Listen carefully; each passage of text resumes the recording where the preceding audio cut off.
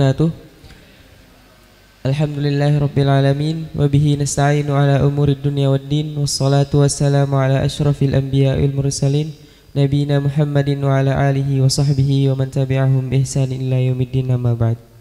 Pertama-tama mari mari kita panjatkan puji syukur kita ke hadirat Allah Subhanahu wa taala yang telah memberikan kita berbagai macam nikmat, nikmat iman, nikmat nikmat Islam, nikmat ihsan sehingga nikmat waktu luang sehingga kita bisa menunaikan sholat subuh berjamaah dan dilanjutkan dengan menuntut ilmu di pagi, hari ini. Tak lupa juga kita sertakan salawat serta salam kita ke hadirat Nabi besar kita Nabi Muhammad sallallahu alaihi wasallam yang telah membawa kita dari gelapnya kemudahan menuju terangnya ilmu. Alhamdulillah telah membersamai kita pada pagi hari ini Al Ustaz Suhair Umar MPD yang mana beliau akan membahas tema yaitu uh, penyebab kejatuhannya dunia Islam. Insya Allah kajian akan uh, akan berlangsung sampai waktu syuruk tiba dan apabila memungkinkan akan diadakan sesi tanya jawab. Baiklah, Mari kita buka kajian pada pagi hari ini dengan bersama-sama melafazkan basmalah. Bismillahirrahmanirrahim. Selanjutnya kami persilahkan kepada Al-Ustaz Suhair Umar MPD untuk menyampaikan materinya.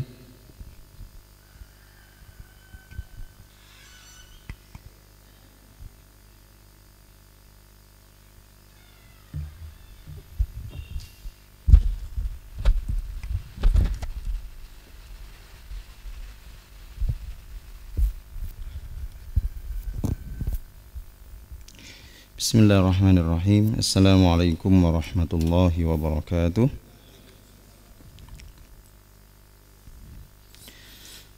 الحمد لله رب العالمين وبه نستعين على أمور الدنيا والدين والصلاة والسلام على حبيبنا وشفيعنا محمد وعلى آله وأصحابه ومن تبعهم بإحسان إلى يوم الدين Rabbi syrah li sadri wa yassir li amri wahlul 'uqdatam min lisani yafqahu qawli amma ba'du.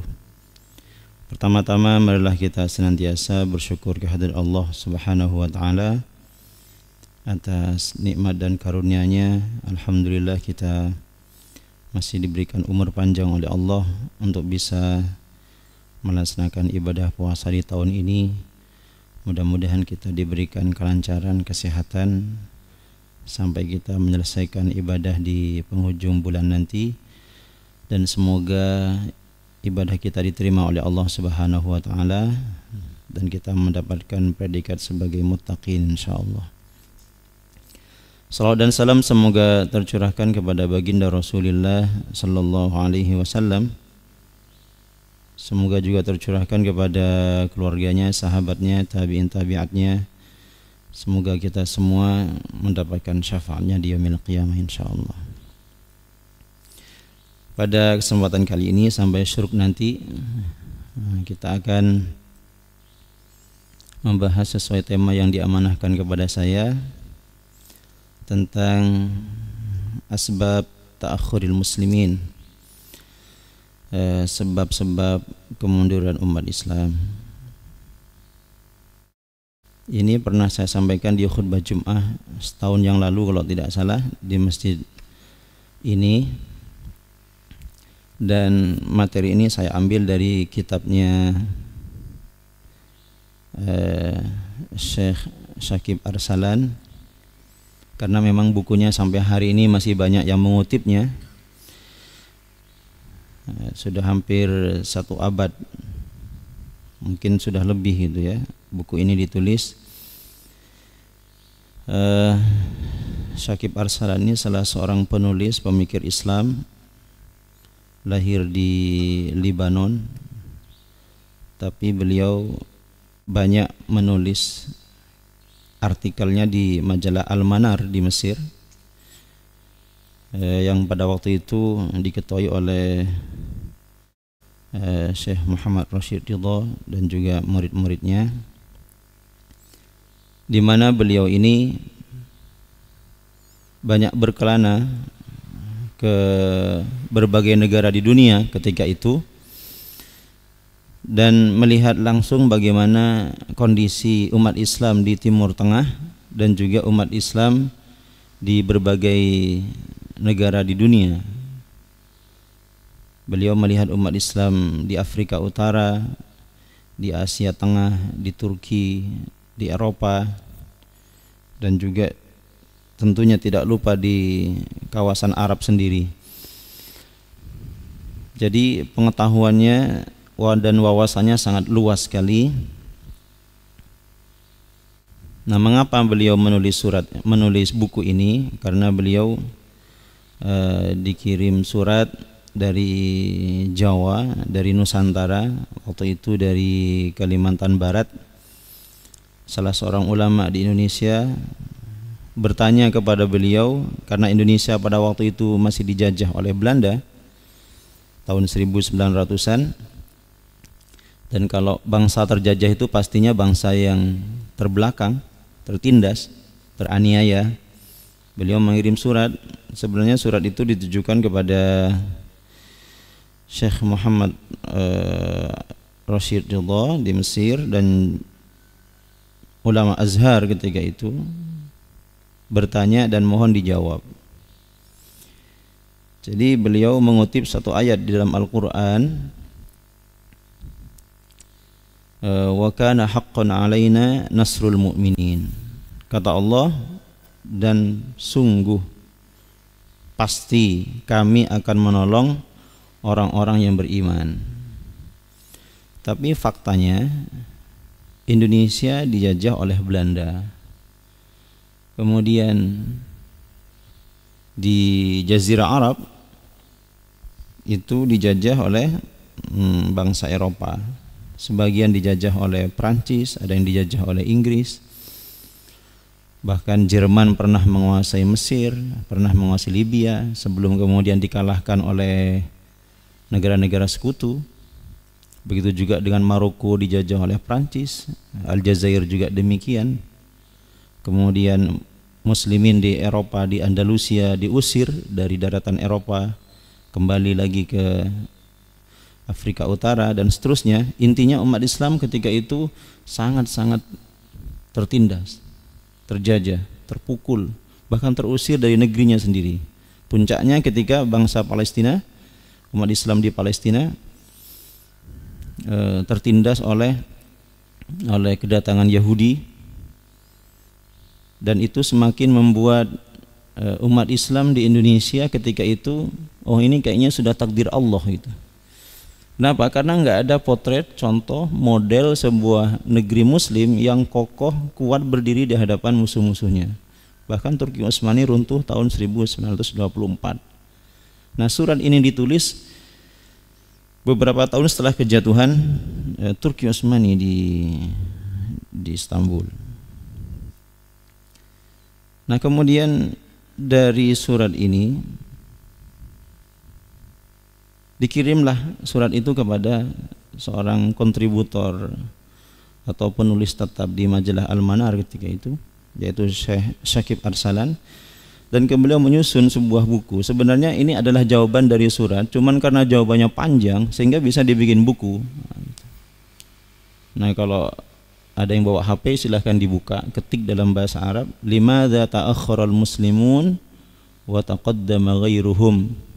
Mengapa umat Islam itu mundur atau kalah atau terbelakang dan umat yang lainnya maju ke depan kalau kita ringkas dalam buku itu setidaknya ada lima sebab mengapa umat Islam itu mundur ke belakang dan ini pernah kami tanyakan juga kepada dosen-dosen kami waktu di Jakarta dulu. Karena ya banyak dari mereka yang berasal dari Palestina, dari Mesir, dari Saudi, dari Yaman, dari Sudan. Kami tanyakan, mengapa umat Islam ini mundur? Jadi pertanyaan itu kami ulang kembali dan kami tanyakan. Salah seorang dosen kami dari Arab Saudi ketika itu beliau mengatakan, bisa jadi kita tidak mundur kata beliau. Cuman kita tidak melangkah. Bisa jadi kita bukan mundur tapi kita eh, tetap di tempat. Cuman umat yang lainnya berlarinya lebih cepat daripada kita. Kita nggak bergerak kita tidak melangkah sedangkan umat yang lain ada yang melangkah, ada yang setengah berlari, ada yang berlari, bahkan ada yang terbang. Jauh melampaui kita, kata beliau begitu. Itu analisa beliau. Tapi bisa jadi juga kita bukannya tidak melangkah, justru malah tidak bangun, tidur gitu kata beliau. Jangankan melangkah, nggak bangun dari tidur kita itu. Ya, mirip kondisi umat Islam di Indonesia ya. Kalau sudah habis subuh, apalagi habis sahur itu, insya Allah ngantuknya luar biasa. Gimana? Biasanya kalau sudah hampir selesai kajian agak terang sedikit gitu karena matahari sudah keluar gitu ya. Tapi kalau sekarang ini kayaknya apalagi kalau ada senderannya ini ada senderannya empuk, sudah selesai ini ya untung nggak dikasih senderan jadi kata beliau kata Syakib Arslan itu ada lima katanya setidaknya. Yang sempat saya ringkas. Kalau ingin yang lebih lengkap baca sendiri bukunya. Yang pertama kata beliau al ilmun naqis. Umat Islam ini mundur atau kalah dibanding umat yang lainnya karena ilmunya kurang kata Hebatnya beliau itu tidak menulis al-jahl karena umat ini bodoh. Beliau tidak menulis begitu. Beliau menulisnya ilmunya kurang, al-ilmun naqis. Loh kok bisa?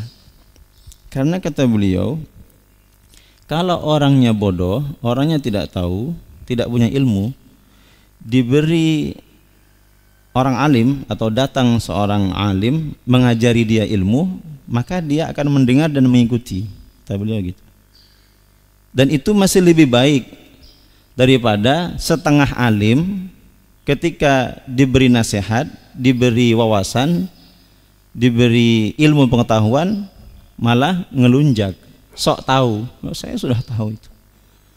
Padahal ilmunya tidak nyampe. Jadi ibarat gelas baru setengah. Ketika datang orang ingin mengisi gelas itu, dia merasa saya sudah punya. Kalau ingin memberi ilmu tuh sama orang yang tidak tahu ilmu sama sekali itu. Orang kampung yang nggak bisa ngaji, yang buta huruf dan seterusnya. Nah ini kata beliau, ini lebih berbahaya dibanding orang yang bodoh. Karena sok tahu, sok pintar. Nah itu. Dan banyak umat Islam yang seperti ini sekarang. Sok alim, sok ilmunya banyak gitu ya karena biasanya kalau orang sudah alim, ilmunya tinggi, itu dia akan semakin merunduk, kan gitu filosofinya itu. Semakin luas dadanya itu, semakin bijaksana berpikirnya. Tapi kalau ilmunya masih pendek, masih sedikit, sepertinya dia tahu segalanya. Ini berbahaya nih. Makanya jangan heran kalau sekarang ini banyak orang yang gampang menyesatkan orang lain, membid'ah, membid'ahkan orang lain. Karena yang dia tahu cuma itu. Tahu satu hadis dua hadis kemudian menjernalisir semua amalan umat Islam sekarang ini sesat. Padahal ada ratusan ribuan hadis yang belum dia ketahui.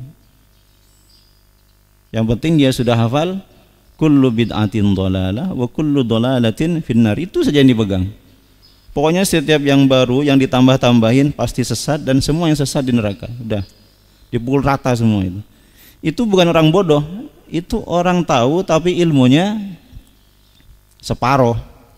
Ini berbahaya, lebih berbahaya kata kata Syekh Arsalan.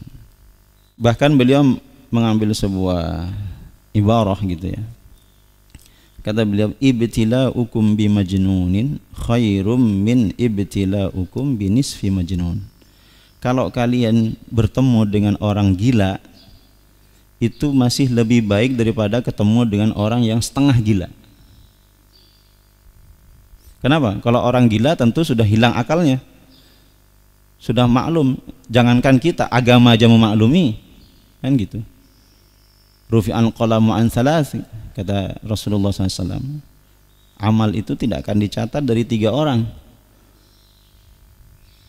dari siapa? di antaranya dari anil majnun ya hatta yafiq dari orang gila hingga dia sembuh dari kegilaannya Tapi kalau orang setengah gila, kadang waras, kadang gila, kadang waras, kadang gila. Susah kita mau menilainya. Ini dia ngomong lagi waras atau lagi gila ini. Susah. Tapi kalau emang sudah aslinya gila, ya sudah udah orang majnun. Nggak usah didengar ucapannya.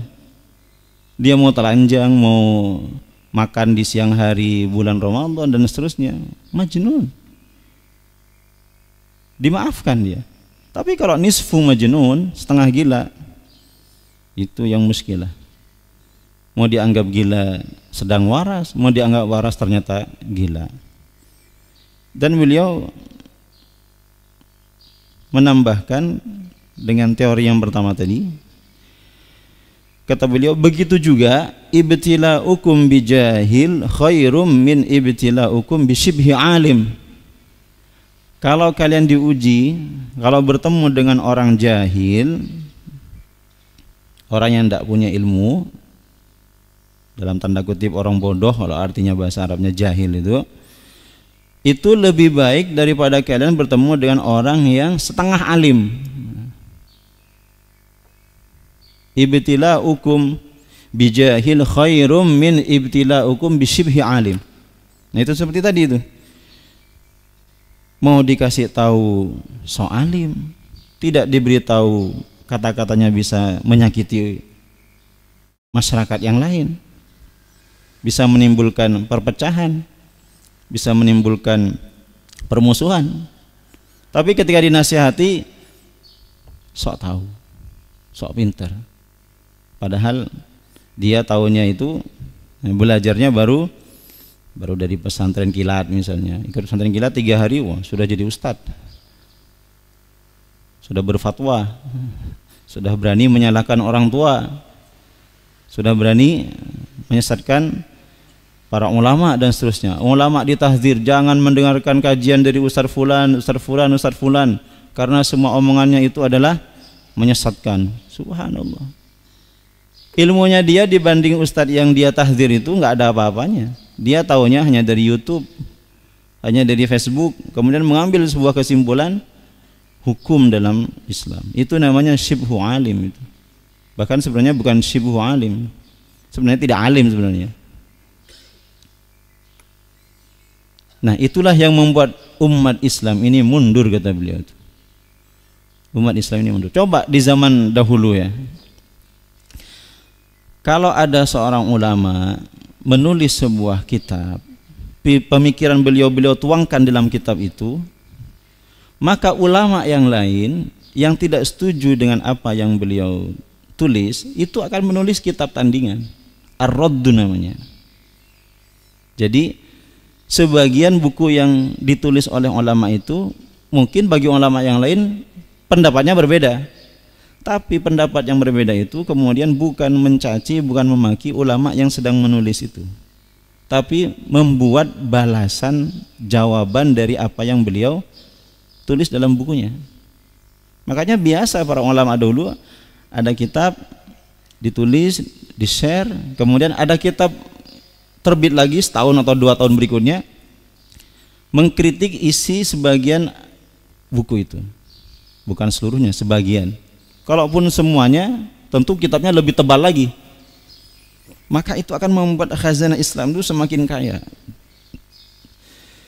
Dan kalau orang alim membantah perkataan atau pendapat orang alim lainnya itu bukan menimbulkan perpecahan, bukan menimbulkan fitnah, tapi malah menambah ilmu kita karena keluar semua ilmunya itu. Kita jadi nikmat membacanya itu. Oh, pendapat ini mengatakan begini, ternyata dibantah oleh si fulan. Dalilnya lebih lengkap ternyata. Kemudian ulama ini juga membantah lagi menguatkan pendapatnya. Pendapat saya itu begini karena alasnya begini. Oh, lebih lengkap lagi. Itu kalau ulama dulu. Kalau sekarang semuanya berkeluar-keluar di Facebook, di, di YouTube. nggak ada isinya. Karena motong video orang kemudian dikomentari seakan-akan dia lebih alim daripada orang yang yang berbicara Ini berbahaya. Makanya kita sebagai kaum pelajar mumpung masih muda nah, ilmu kita harus harus dilengkapi, jangan setengah-setengah. Jangan setengah. Kalau setengah-setengah nanti mispersepsi. Kalau setengah-setengah nanti bisa menimbulkan distorsi dan seterusnya. Kalau memang kita sudah memilih ilmu tertentu ya kita usahakan kita ahli di bidangnya. Kalau ngambil peternakan ya ahli dalam peternakan lah. Jangan malu-maluin gitu ya. Kalau ngambil bahasa Inggris memang ahli di bidang bahasa Inggris. Kalau kuliah di fakultas adab, fakultas syariah misalnya, kita memang ahli di bidang itu. Karena ada ada teman saya masih ada hubungan saudara kuliah di saya bukan ingin merendahkan kampusnya bukan tapi mahasiswa itu tergantung dirinya sendiri mau belajar apa tidak mau kuliah di mana pun sebenarnya sama dia kuliah di UGM sastra Arab kuliah UGM sastra Arab ngobrol dengan saya lama kemudian saya tanya coba eh, karena dia mau mendaftar menjadi karyawan Coba Anda itu ngobrol dengan bahasa Arab. Perkenalan saja. Saya dari sini, dulu kuliahnya di sini, selama kuliah saya kegiatannya ini dan seterusnya. Coba dengan bahasa Arab. Tidak keluar itu. Paling yang keluar Bismillahirrahmanirrahim. Nah kalau itu nggak kuliah pun bisa. Artinya yang kuliah di sastra Arab disuruh bahasa Arab tidak bisa. Saya tanya kenapa tidak bisa? Karena yang kami pelajari itu adalah budaya orang Arab. Loh, mau belajar budaya orang Arab itu bisa paham dari mana kalau kita tidak mengenal bahasa Arab? Oh, karena budaya Arab itu literaturnya bukan hanya dari Arab. Dari Indonesia ada, dari Inggris ada. Oke, dah. Nah, terus kalau mau e, menjadi bagian dari kami di sini padahal nanti tugasnya harus menggeluti bahasa Arab gimana? Nah harus belajar lagi katanya, belajar lagi ya kuliah lagi S2 aja gitu ya. S2 ambil lagi Arab lagi gitu. Nah kita kita di situ sudah mengambil jurusan yang kita sukai, yang yang kita minati, tapi ternyata kita juga tidak ahli di dalamnya. Itu yang bermasalah, kata Syakib Arsalan. Yang kedua, fasadul akhlak.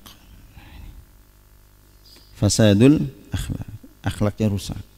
Akhlak siapa? Akhlak umat Islam. Karena mustahil ajaran agama kita ini mengajarkan akhlak yang yang buruk inna akrabukum ilayya manzilan kata Rasulullah in akrabakum alayya majlisan yawmal qiyamah ahsanukum khuluqa orang yang paling dekat denganku nanti di hari kiamat di surga nanti tempat duduknya yang paling dekat denganku adalah mereka yang paling baik akhlaknya. Nah, sedangkan akhlak umat Islam sekarang ini justru malah di bawah akhlaknya umat-umat yang lain. Contohnya dalam segala segi ya kejujuran, kedisiplinan, kebersihan, amanah, tanggung jawab. Itu malah kalah dibanding umat lain yang tidak beragama Islam. Nah, itu justru yang membuat citra Islam itu rusak gara-gara kita dan membuat image bangsa yang lain, umat yang lain menganggap bahwa Islam itu bangsa yang tidak bermoral, bangsa atau agama yang barbar kata mereka itu. Kenapa? Karena umat Islam sendiri tidak tidak memperhatikan ajaran agamanya, akhlaknya rusak. Disuruh jualan tidak jujur. Sedangkan umat lain yang tidak beragama Islam malah kalau jualan jujur diberi tanggung jawab tidak amanah apalagi disuruh memimpin malah mengkhianati rakyat itu disuruh menjadi anggota rakyat anggota perwakilan rakyat. Malah mewakili rakyat dalam hal duitnya gitu ya. Saya mewakili rakyat rumahnya paling besar rumah, mobilnya paling mewah tunjangannya paling banyak biar rakyat merasakan yang biasa-biasa saya mewakili mereka dalam hal kenikmatan itu nah itu dia makanya jangan heran kalau banyak anggota legislatif yang tidak jadi banyak yang stres kenapa stres ya karena sudah kebayang kalau jadi anggota dewan yang terbayang adalah semua bentuk kenikmatan, rumah mewah, mobil mewah, uang banyak, bisa investasi tanah di mana-mana. Tapi ternyata ketika sudah tidak jadi, was, blank langsung otaknya itu. Stres langsung. Kenapa? Karena dia bukan ingin membela rakyat, bukan ingin menyampaikan aspirasi rakyat, bukan ingin membela e, kaum yang lemah, tapi ingin memberkahi diri sendiri dengan segala macam cara. Karena sudah habis uang banyak nggak jadi emosi itu. Bahkan ada sebagian yang nyumbang karpet, karpetnya diambil lagi. Katanya ini saya nyumbang satu gulung karpet gitu. Kalau saya jadi saya tambah lagi. Tapi kalau nggak saya kalau nggak jadi saya tarik lagi, saya kasih ke musola yang mendukung saya. Gitu. Ada yang seperti itu. Ada suatu saat saya ngiji kajian di sebuah masjid. Waktu itu sebelum pemilu saya tanya, apakah di lingkungan kita ini masih ada yang namanya serangan fajar? Jamaah kemudian langsung angkat tangan semua. Masih Ustaz gitu. Buktinya apa? Saya nerima katanya. Terus di RT yang lain masih ada nggak? Masih. Apa buktinya? Saya juga terima. Sekalian saya tanya, Bapak terima biasanya berapa? Ya selama tiga kali pemilu ini rata-rata 50 ribu. Gitu. Terus kalau yang di RT lain, kalau RT saya karena eh, masyarakatnya masih ekonomi sangat bawah gitu, jadi dikasih 30 ribu pun mau. Tapi kalau RT yang sudah agak kota itu 50 ribu paling sedikit gitu. Ada yang ngasih 100 ribu. Jadi akhlaknya pemilih dan yang dipilih itu hampir sama. Itu sebagaimana kita ini mau maju. Bagaimana bangsa ini mau menjadi bangsa yang unggul, yang besar, oh, akhlaknya seperti itu. Nanti kira-kira kalau sudah jadi apa yang dipikirkan kira-kira? Ya kebalik modal. Bahkan yang ngobrol dengan saya itu menjadi koordinator. Jadi dia pegang uang dari berbagai caleg, dari berbagai nomor capres gitu. Dikasih, saya minta sekian, istilahnya kalau di kampung di Sidabo itu bidding namanya. Bidding. Ini cerita ke saya, saya Ustadz kemarin dikasih 25 juta dari satu orang caleg. Dia minta sekian ratus suara 25 itu sekian ratus. Satu RW minta 200 suara. Itu bayangkan satu RW. Tapi kalau nanti ternyata suaranya lebih, saya dikasih bonus. Kan dihitung itu. Berapa satu RW itu suaranya. Dikasih bonus. Jadi 25 itu dia keliling ke RT-RT, satu RT dikasih 5 juta. 5 juta, 5 juta, 5 juta, 5 juta. Jadi dapat 5 RT targetnya hanya 200 suara karena dia udah ngitung kalau sekian RW dapat sekian ratus maka sekian lah minimal kalau jadi ya ternyata karena memang orangnya supel bergaul dengan banyak masyarakat gitu ya sehingga disenangi oleh caleg-caleg itu itu baru dari satu caleg dari satu partai ternyata yang datang ke dia tuh tiga empat partai tolonglah saya dibantu Loh yang di sana ngasih 25 juta kok untuk sekian ratus suara. Loh saya mau ngasih 50 juta. Saya minta sekian suara. Loh itu terang-terangan. Dan orangnya cerita sendiri ke saya, waktu kajian pun saya tanya, mereka bilang juga menerima. Saya tanya kepada mereka, kok nggak ada satupun yang datang ke rumah saya? Saya bilang. Jadi sudah tiga kali saya memilih, presiden dan wakil presiden di Banyumas ini tidak pernah ada satu orang pun yang datang ke rumah saya nawarin tolong dibantu untuk saya jadi caleg atau jadi uh, kepala daerah dan seterusnya kok nggak ada itu kata mereka sebelum mereka datang mikir dulu Ustaz katanya. Kenapa? Karena nggak mungkin Ustaz itu mau keliling cari suara kan gitu ya. Bukan maklar nggak ada tampangnya maklar. Jadi bagi mereka musim pemilu itu adalah musim panen uang. Jadi bukan untuk memilih program. Kata mereka itu itu omong kosong program itu semua bangsa Indonesia itu untuk saat ini jangan dikasih janji dan program-program. Setinggi apa pun mereka nggak akan dengar itu.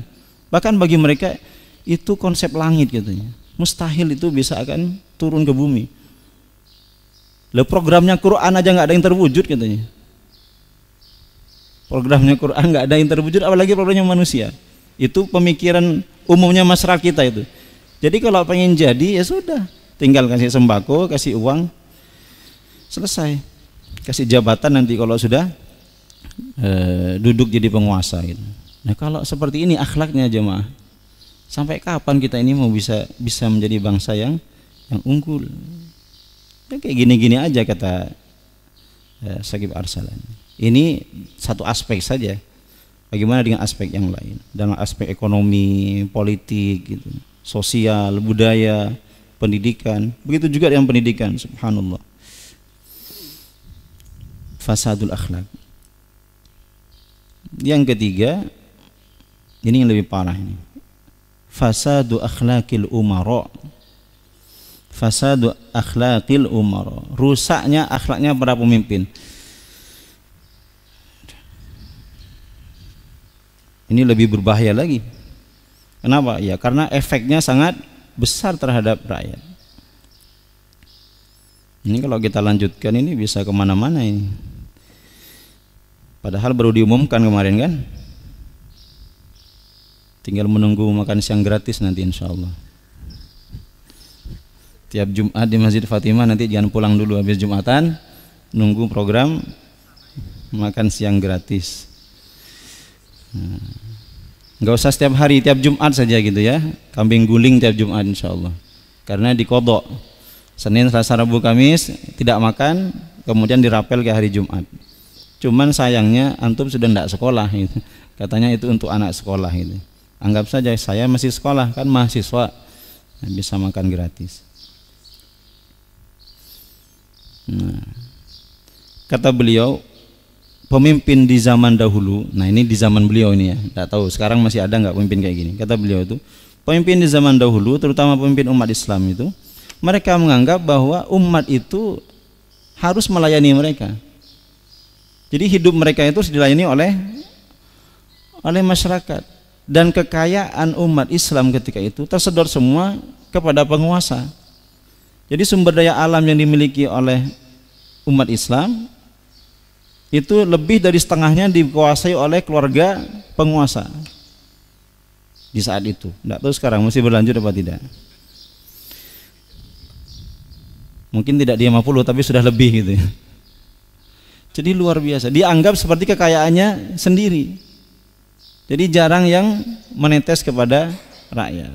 Nggak ada yang eh, dinikmati oleh masyarakat. Kalaupun ada sangat sedikit dalam uh, istilah yang mereka gunakan sebagai zakat dan seterusnya. Yang keempat, ini ada tanya jawab nggak ini? Biar kita ada sesi istirahatnya gitu ya. Karena kalau uh, terlalu lama nanti uh, keringnya lama juga ini. Yang keempat kata beliau al-jubn. Al-jubnu. Al-jubnu adalah penakut bukan kenapa beliau tidak menggunakan istilah al khauf tidak al jubun itu pengecut penakut kata Syakib Arsalan dulu salafun saleh itu satu berbanding sepuluh sepuluh berbanding seratus seratus berbanding seribu seribu berbanding sepuluh ribu sepuluh ribu berbanding seratus ribu itu umat Islam dulu itu kekuatannya seperti itu jadi nggak ada takutnya.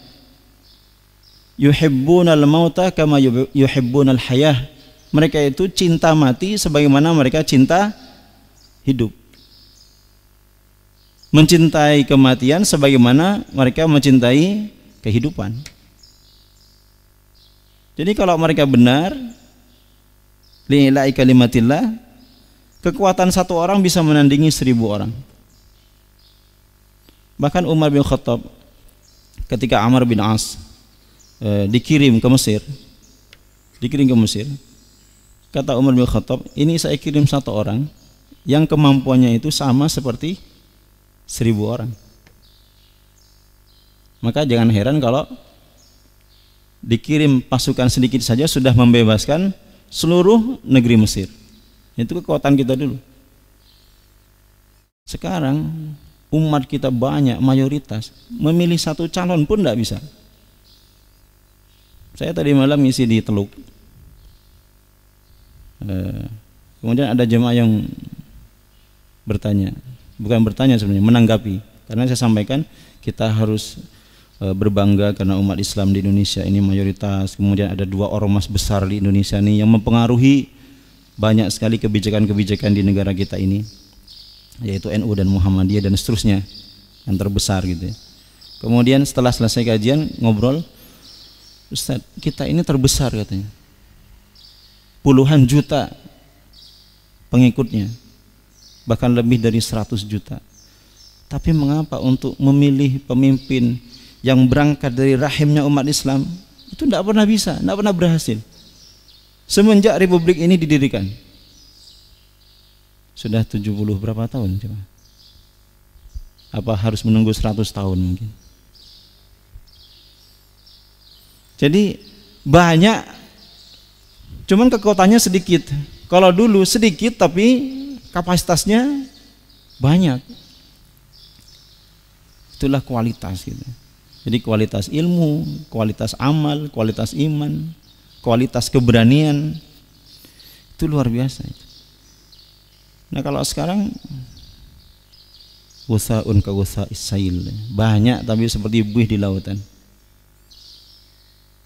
Diperebutkan oleh berbagai kepentingan gitu ya Seperti makanan Di atas meja Yang satu mengambil dari sebelah kanan Yang satu menarik dari sebelah kiri Yang satu dari depan, yang satu dari belakang Tercabik-cabik kita umat Islam ini Coba bayangkan partai yang berbasis masyarakat pemilih Islam saja ada berapa coba? Coba kalau mereka bersatu selesai semua sudah. Partai nasionalis lebih sedikit pemilihnya daripada partai partai yang berbasis umat Islam. Coba kalau dikumpulkan semua. Unggul kita. Satu putaran bahkan nggak nyampe setengah putaran udah selesai. Tapi tidak pernah terwujud itu. Sempat terwujud dulu hampir menang di zaman masih kita bersatu bersama Masumi itu tahun 55 tapi itu tidak terulang kembali. Susah sudah. Karena sekian kelompok yang ada ini sekarang kepentingannya beda beda beda dan rata-rata orientasinya semua adalah dunia maka ketika orientasinya sudah dunia takut kalah takut tidak jadi, takut nanti nggak dapat kursi, takut ini, takut itu. Itu namanya pengecut, juben itu.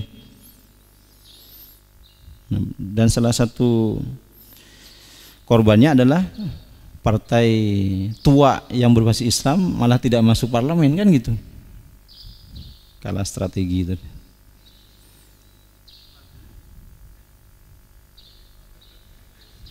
setelah dianalisa kenapa kok bisa nggak tembus parlemen oh ternyata salah mencalonkan capres salah mendengar aspirasi dari bawah salah eh, semacam-macam karena gabungnya hijau dengan merah karena begini nah, kok baru sekarang kan gitu ya? Kenapa nggak dari kemarin? Itu yang ke keempat. Jadi umat Islam itu hakikatnya la yakhafunal maut kita tidak pernah terjangkiti yang namanya penyakit wahan. Penyakit wahan itu adalah hmm, nah, hubbud dunya wa karahiyatul maut. Kita ini terlalu cinta dunia dan takut takut kalau kita mati dalam keadaan yang uh, seperti kondisi kita sekarang ini. Kalau disuruh berjihad apalagi subhanallah. Yang kelima, nah, yang kelima. Al-jumudu 'alal qadim jumud stagnan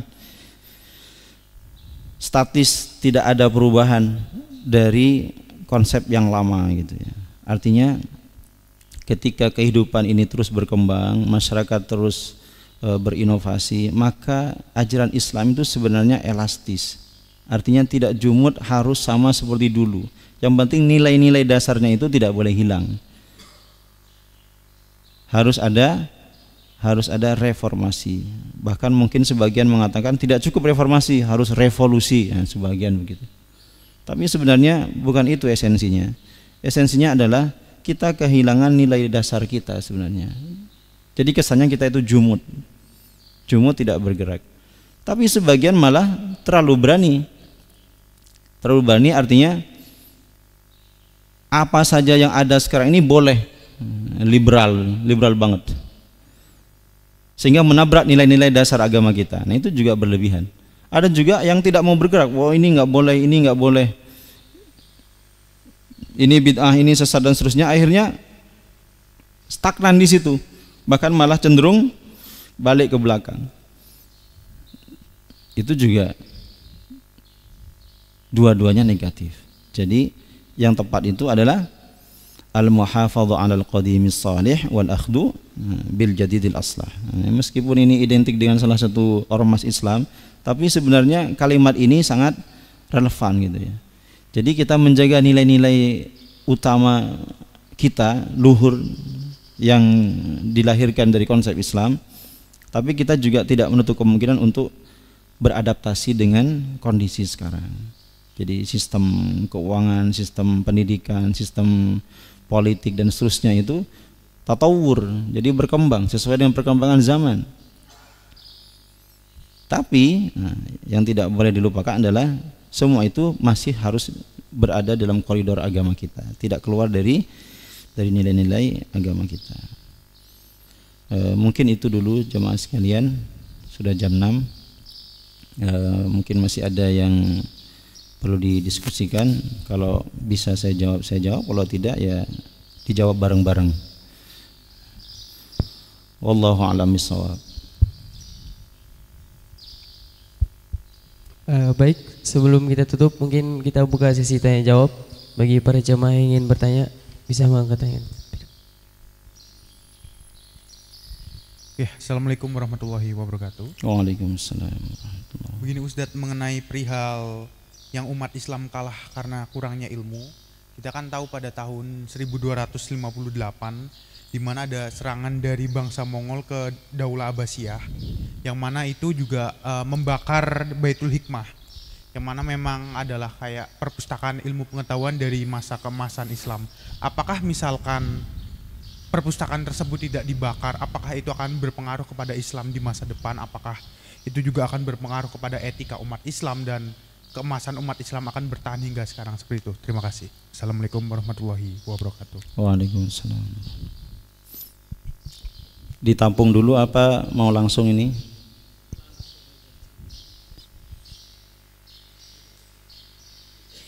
Baik. Apakah kedatangan Mongol yang merusak perpustakaan Betul Hikmah dan sekaligus mengalahkan daulah Bani Abbasiyah itu e, berpengaruh terhadap kemunduran umat Islam gitu ya sekarang seperti sekarang ini. Ya tentu ada tentu e, itu berpengaruh. Tapi hikmahnya adalah ketika umat Islam berada di titik yang paling rendah kemudian muncul seorang pemimpin yang mengangkat mereka kembali karena mereka karena pemimpin ini masih punya nilai-nilai leluhurnya dulu Siapa itu? Saifuddin Qudus. Jadi ketika di peperangan uh, Ain Jalut mengalahkan bangsa Tatar ketika itu. Dan itu berangkat dari Mesir. Nah, jadi satu sisi umat Islam memang uh, dalam kondisi lemah, tapi dari kelemahan itu kemudian bangkit kesadaran mereka, terutama dari pemimpinnya. Nah, ini kalau pemimpinnya tidak rusak akhlaknya, nah bisa membawa umat ini untuk bangkit kembali dan mengalahkan bangsa e, Tatar ketika itu. Dan Tatar tidak lama berkuasa, cuman memang efek kerusakannya luar biasa. Hanya beberapa tahun saja menghancurkan Daulah Bani Abbasiyah, menguasai hampir seluruh e, wilayah e, umat Islam di Timur Tengah, di daerah Syam juga. Tapi kemudian bangkit pemimpin kita ketika itu dan di antara ulama yang ikut berjihad ketika itu adalah Syekh Ibnu Taimiyah, Imam Ibnu Taimiyah. Nah, itu di antaranya. Nah, kemudian yang kedua adalah Baitul Hikmah. Jadi eh, umat Islam ketika itu memang berada di tingkat eh, peradaban yang tinggi gitu ya. Di antara penyebabnya adalah ilmu pengetahuan yang sangat sangat diperhatikan oleh eh, Daulah Bani Abbasiyah. Tapi kemudian ketika perpustakaan itu dihancurkan, tentu kita kehilangan. Cuman kehilangannya kehilangannya itu tidak terlalu tidak terlalu eh, dalam gitu ya. Mengapa? Karena ilmu umat Islam ketika itu tersimpan bukan hanya di catatan, tapi ada di pikiran dan hati para ulama. Nah itu. Itu pentingnya halakoh di situ. Pentingnya mengaji di situ. Tulisan boleh hilang. Boleh dibakar, boleh dihanyutkan di di air. Tintanya hilang semua misalnya. Tapi yang ada di pikiran dan di hati para ulama itu masih bersemayam. Dan itulah yang diajarkan. Maka lahir pemimpin-pemimpin baru, ulama-ulama baru. Jadi ulama kita dahulu itu al ilmu fis sudur itu moto mereka itu. Mereka lebih bangga ilmunya itu ada di hatinya. Makanya Quran hafal, hadis hafal gitu ya. Akwal ulama hafal, kaidah usul fikih hafal, kawaid fikih hafal, kaidah ilmu nahu hafal. Jangan heran dulu alfiyah yang seribu bait itu itu mudah bagi mereka itu. Dan di zaman kita sekarang masih banyak santri-santri yang hafal Alfia bait seribu bait itu. Jadi meskipun bukunya hilang, mereka bisa menulis ulang. Kenapa? Ya karena harddisknya masih masih aman. Di mana harddisknya itu ya? Di otak sama hati kita. Karena ilmunya di, di dada. Al ilmu fis sudur, la fis sutur. Ilmu itu di dada, bukan di tulisan. Karena semakin ke sini umat Islam itu semakin lemah hafalannya semakin lemah ingatannya semakin malas belajarnya akhirnya para ulama untuk menjaga ilmunya itu menulis menulis kitab. Imam Syafi'i kitabnya apa? Al-Um. Dan itu bukan beliau yang menulis tapi muridnya. Beliau mengimlakkan kepada muridnya. Muridnya menulis kitab Ar-Risalah karya Imam Syafi'i. Beliau yang menyampaikan kemudian muridnya yang menuliskan. Ilmunya itu di sini. Jadi tidak terlalu kemudian setelah maktabah Baitul Hikmah itu hilang kemudian ilmu jadi hilang tidak. Kenapa? Karena Allah itu mencabut ilmu itu innallaha la yanzi'u. Sesungguhnya Allah tidak mencabut ilmu itu intizaan. Innallaha la yanzi'ul ilma intizaan. Allah tidak mencabut ilmu itu sekali cabut hilang. Tiba-tiba para ulama itu kemudian jadi orang bodoh seketika gitu enggak? Atau kitab-kitab hilang semua tidak? Wa innama yanzi'u biqabdil ulama kata Rasulullah. Ilmu itu diangkat dengan cara mewafatkan para ulama. Kalau para ulama wafat hilang ilmu itu. Makanya sebelum ulama itu wafat melahirkan ulama-ulama baru wafat Imam Abu Hanifah masih ada Imam Malik. Wafat Imam Malik dilanjutkan Imam Syafi'i. Imam Syafi'i wafat dilanjutkan oleh muridnya Imam Ahmad bin Hambal. Terus begitu. Imam Ahmad wafat masih ada Imam Bukhari sebagai muridnya. Terus. Nah itu. Jadi yang paling e, berharga itu ilmu yang ada di di dada. Kalau di tulisan itu untuk menopang saja, untuk membantu. Nah kita sekarang dua-duanya nggak punya, nah itu di pikiran dan di dada nggak ada, di tulisan juga nggak ada. Sudah di sini nggak ada isinya, jarang baca pula, ya sudah murni itu. Artinya memang orisinil otak umat Islam itu, karena jarang dipakai katanya. Allah alam, mudah-mudahan kita tidak seperti itu. Jadi kalaupun hafalan kita sedikit, hadis yang kita tahu sedikit, ayat yang kita hafal juga sedikit, ya diimbangilah dengan banyak membaca. Diimbangilah dengan ya sedikit menulis supaya ilmunya tidak hilang terus begitu. Niatkan seperti itu untuk mengembalikan lagi kejayaan umat ini insya Allah mudah-mudahan menjawab. Sudah ya jam 6 lebih 10 sudah Zat? Oh iya uh, baik dikarenakan sudah memasuki waktu syuruk mungkin uh, pertanyaan kita pending dulu di pertemuan yang berikutnya Sebelumnya kami ucapkan jazakallah khairan kathiran kepada Ustadz Suhairi Umar MPD yang telah menyampaikan ilmu yang begitu bermanfaat. Semoga dengan ilmu tersebut kita dapat menambah wawasan kita terkait uh, penyebab-penyebab uh, terjatuhnya dunia Islam. Uh, baik, mari kita tutup kajian pada pagi hari ini dengan bersama-sama melafazkan hamdalah dan disempurnakan dengan doa kafaratul majlis. Alhamdulillahirabbil alamin. Subhanakallahumma rabbana bihamdik asyhadu an la ilaha illa anta astaghfiruka wa atubu ilaik. Wassalamualaikum warahmatullahi wabarakatuh.